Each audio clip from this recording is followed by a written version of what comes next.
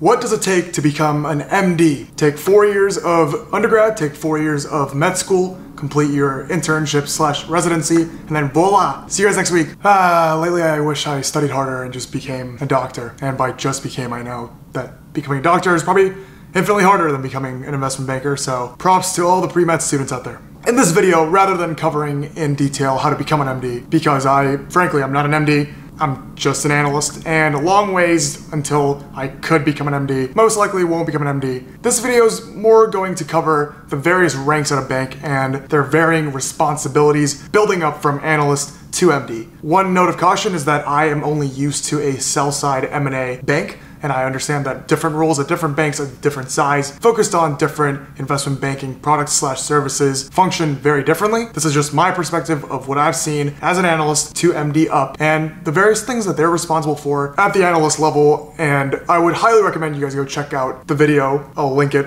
here, if I know how to link it, that I first made on this channel, what I literally do as an investment banking analyst. I'm not gonna go into too much detail, but basically you are at the bottom of the food chain and a lot of your work starts at the administrative level where you are sending Outlook invites, the notorious alignment of logos, building out the pitch decks and the marketing materials, so on and so forth, organizing logistics, sending out calendar invites. Did I say sending out calendar invites? I sent out a lot of calendar invites this week, so just what's in my head right now. It is partly administrative, but also at the same time, and not to put myself or our role at a pedestal, I also think, especially in the general business world, if finance is under the umbrella of business, being an investment banking analyst is a lot more work and a wide variety of work, I would say, compared to a lot of jobs that you can get right out of college. And that is probably why investment banking analysts are known to be paid more, but also worked a lot. The two years of experience that people typically get as an investment banking analyst, I think the industry tends to appreciate a bit more than others that may have the same years of experience because a lot is tightly packed in those two years. Once again, not to overly drive traffic, but go ahead and check out the video that I mentioned earlier, my first ever video on this channel, the one with the most views filmed on an iPhone camera. I think I do a relatively good job of explaining what my job is as an analyst. After two to three years of being an analyst or the MBA associate route, you can become an associate. And associates are kind of like this buffed up analyst on track to become the MD. I would argue most people take the associate at an investment banking route post an analyst because they have aspirations to become an MD, especially if you've done something else for a couple of years or even 10 years and then took the MBA route to transition into banking, you're really in it for the long run. Associates, as I said said before, as a buffed up analyst, can do every role, everything that an analyst has done.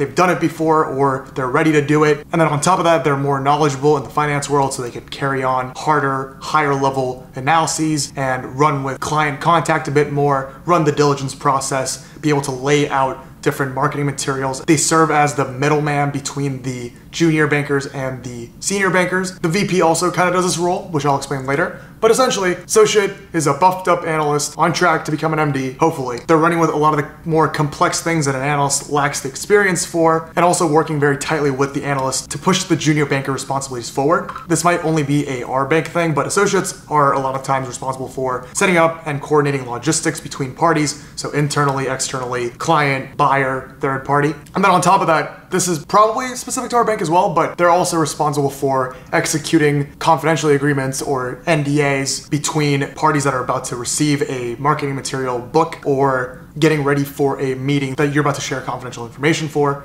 Really appreciate my associates, not to kiss ass publicly. I don't think my associates even watch this video, but they basically help the analyst out tremendously and you have a good associate, you have a good life. VP. When I first learned about banking and I heard VP, typically when people say VP, vice president, it's probably this one person that is directly in charge right under the president. There are a lot of VPs at investment banks, and probably a lot of businesses have VPs. This is probably more folklore than truth, but I heard that because VPs at various firms, including investment banks, are typically at the forefront of leading client dynamics after the MD. They want this kind of higher level title so that they could say, I'm a VP and I'm talking to you. At the same time, it kind of makes sense because VP is your first transition into becoming an officer at the firm. You get a bio at the company website, and the company's really trying to invest in you and thinking of you long term and you're doing the same. Once you become a VP, it's probably a bit harder to jump to something else unless you're trying to become a CFO of a startup or trying to start something on your own. If you're a VP at a firm and you've gone through the analyst or the MBA associate track, done your three years as an associate, and now you are a VP at a firm, you're thinking about expanding your vertical, maintaining your client relationships, building repertoire with MDs and junior bankers, and hoping to become a MD at the firm, a partner at the firm. VPs are known as the quarterback of the deals that I'm on. They're really the ones that are maintaining and executing the deal process from start to finish. While they might not be getting too crazy into the weeds of data or marketing materials, they're definitely directing it. They're understanding what the buyer needs, what the client needs, what the entire process needs, and really, really serving as the bridge between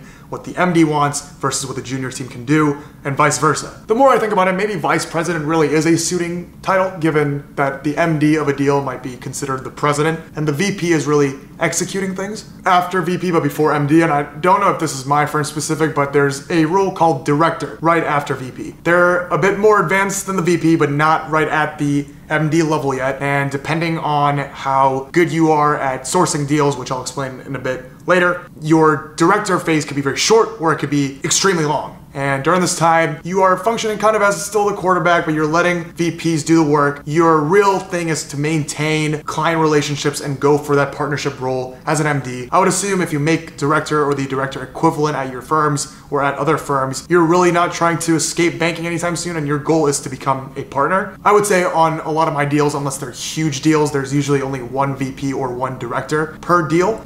Hmm, this is me trying to think about a proper analogy to compare VP to director, and it's kind of hard. Hmm, this is a terrible analogy, and I really hope none of my directors are watching this video, but you know those diagrams where it's a frog going from an egg to a full frog, and there's that one minor step in between two relatively bigger steps at the end where the frog is basically almost formed, but they still have a bit of the tail left. But if you saw it in real life, you would think it's a frog.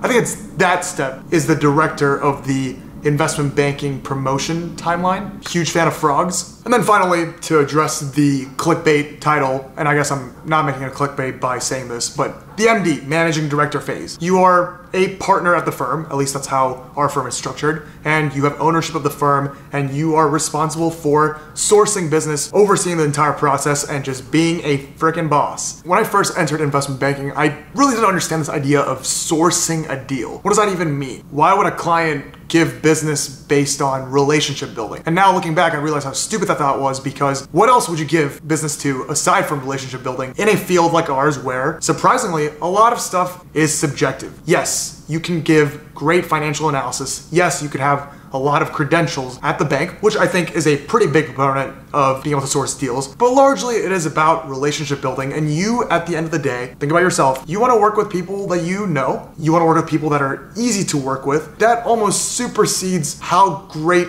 that person might be at their job. And that's very controversial, but also not relevant because most MDs who are sourcing deals very well and successful at their firms are already good at their jobs to begin with. So they have to beat that with a subjective measure, which is being able to maintain these relationships. Certain firms, including mine, have a specific group of MDs that their sole job is to maintain relationships with clients. This goes to things that you guys might think about and probably different in the age of Zoom, but going on trips together, hanging out, going on golf trips, jumping on the phone, and understanding where the market is. In terms of sell side M&A, these bankers, these MDs are jumping on the phone with private equity firms and asking them about their various assets, when they're thinking about exiting those assets, who they're thinking about selling to, getting a grasp of the market, and your ability to maintain these relationships, figure out when these clients want your firm to pitch for them is your job. And the majority of your job is being able to bring in business, create these pitch decks, pitch for those businesses that tell you, hey, come pitch. We're probably going to exit soon and we're choosing one bank to represent us out of a bunch and we want you to win because we had that great conversation and you've been on top of our game for the past five years. You know us inside and out from all these conversations.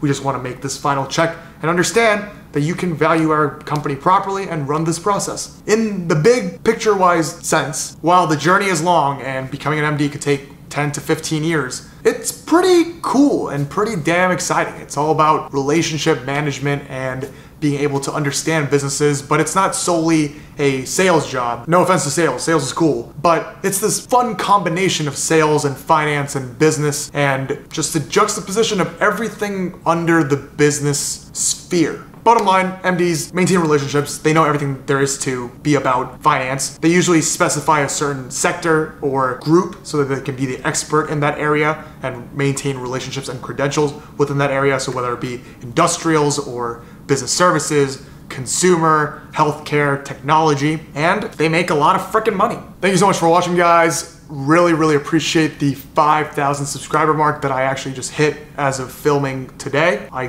can't believe that I'm at 5,000. That's crazy. I don't even know 5,000 people. I probably don't know any of you, most of you personally because my friends are definitely not watching these videos. Really appreciate it. I am moving this week to a new place within Chicago. My plan is to have a video on that place relatively soon. Maybe you guys don't care where I live or how I live, but thought that would be a fun video to make after two investment banking videos back to back. Thanks again so much for 5,000 subscribers. Have a great day. See you guys next time.